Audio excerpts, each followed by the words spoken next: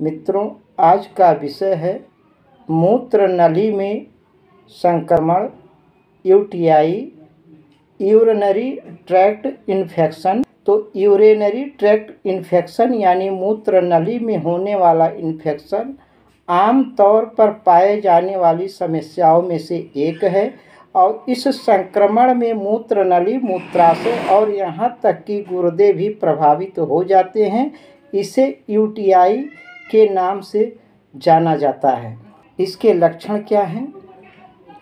बार बार मूत्र त्यागने की इच्छा होना, दर्द के साथ पेशाब आना, मूत्र टपकना, नीचे पेड़ों में दर्द रहना, बिस्तर पर पेशाब निकल जाना, पेशाब रोक न पाना और दुर्गंध युक्त रक्त मिश्रित मूत्र आना बुखार एवं हल्की हल्की सर्दी लगना, पेट या कमर में दर्द रहना, उल्टियाँ होना, लंबे समय तक दस्त आना बाहरी जननांगों में लाली इत्यादि। यदि साथ में पथरी हो तो दर्द बहुत तेज होता है। मूत्र मवाद के कारण धुंधला व गाढ़ा सा तथा कभी कभी रक्त भी मूत्र के रास्ते मूत्र के साथ आ, आता रहता है।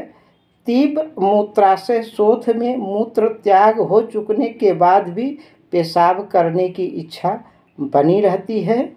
और यदि मूत्र की मात्रा कम आ रही है तो दर्शाता है कि मूत्र संस्थान में कहीं रुकावट है। इसका इलाज क्या है?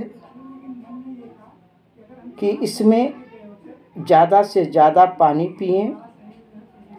और एक टेबलेट और एक सिरप आता है। नीरी नाम की एक सिरप आती है, जिसे सुबह शाम दो दो ढक्कन पीना है। चाहे तीन बार आप पी सकते हैं दो दो ढक्कन। और नीरी नाम की टेबलेट आती है, जो सुबह शाम एक एक गोली ले सकते हैं। को इसमें क्या खाना चाहिए, क्या नहीं खाना चाहिए रोगी को जहाँ तक हो सके अधिक मात्रा में जल पीना चाहिए। नींबू का ताज़ा रस, नारियल का पानी, संतरे का रस, गन्ने का रस और अनानास का रस इस रोग के लिए बहुत उपयोगी हैं। रोगी को सेब, अंगूर, आड़ू और आलू, बुखारा आदि फल अधिक मात्रा में देना चाहिए। क्योंकि इस रोग में गाजर का रस बहुत लाभदायक है।